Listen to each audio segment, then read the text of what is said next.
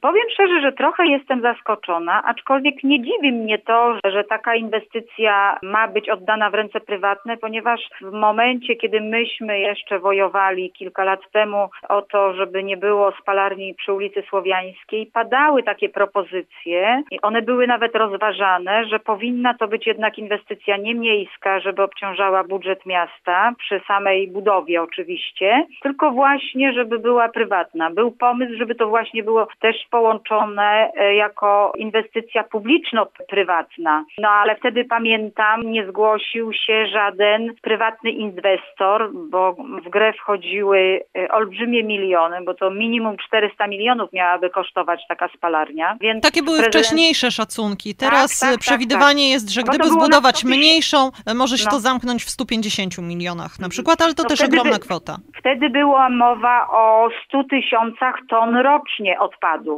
Dzisiaj jest mowa o połowie tego, więc automatycznie mniejsza byłaby spalarnia. To już jest jakiś sens, że jest mniejsza. Tak się zastanawiam, czy, czy wszystko, co jest prywatne, to jest dobre. No, ja generalnie nie jestem za tego typu instalacjami, to znaczy nie jestem zwolennikiem spalarni odpadów. Ja jednak jestem zwolennikiem utylizacji odpadów nowoczesnych, nowoczesnymi metodami, tak jak to się dzieje na zachodzie.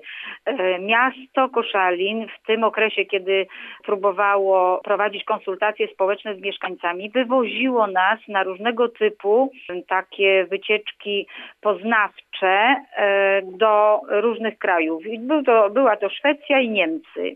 I w kilku miastach e, w Niemczech byłam i byłam również w takim zakładzie utylizacji odpadów w Malmę ale, ale nie tylko w Malmę, w kilku miejscowościach Szwecji. I proszę sobie wyobrazić, że Szwecja mnie po prostu zachwyciła tym, co oni robią z odpadami. Oni na odpadach zarabiają. Dla nich odpady to biznes. Tam jest w ogóle od, energia odnawialna, czerpanie zysków z energii odnawialnej. Oni nie pakują pieniędzy w spalarnie odpadów, aczkolwiek one są rzeczywiście, bo tu nie mogę powiedzieć, że nie ma ich. Natomiast oni się skupiają na biogazowniach i oni z biogazowni czerpią zyski, mało tego, utylizują odpady, likwidują wysypiska śmieci, czyli to, co jest zgodnie z normami unijnymi postanowione. I oni się do, do tych norm rzeczywiście pięknie dopasowali i naprawdę doskonale im to wychodzi. Miasto Malmę jest jedno z nielicznych w Europie, które jest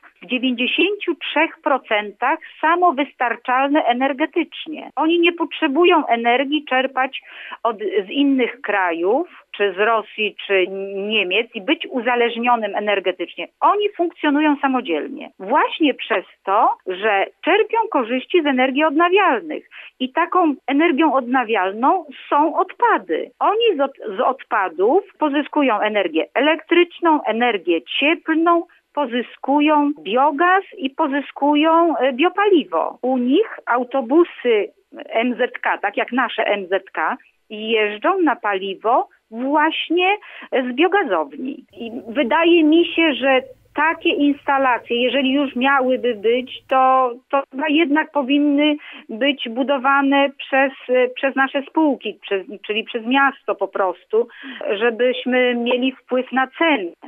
Z drugiej strony y, na logikę to rzeczywiście to konkurencja pobudza rynek i, i wymusza ceny.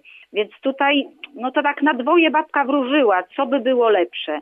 Generalnie, no tak jak powiedziałam, ja nie jestem za spalarnią w ogóle. No jeżeli ma być i jest ona w planach, w, oczywiście mówimy tutaj o miejscu w strefie ekonomicznej, to niech będzie. Natomiast no tutaj forma własności, nie wiem, no na pewno, na pewno miasta dzisiaj nie stać na wybudowanie takiej spalarni i stąd pewnie pana prezydenta pomysł o, o prywatnej inicjatywie. Miasto no, ma olbrzymie długi. W tym roku będzie to 300 milionów zadłużenia, więc siłą rzeczy nie ma z czego po prostu wybudować tej spalarni. Ja cały czas powtarzam, mhm. że inwestycje muszą być budowane z rozumem, muszą być przemyślane i dostosowane do warunków i możliwości miasta i mieszkańców.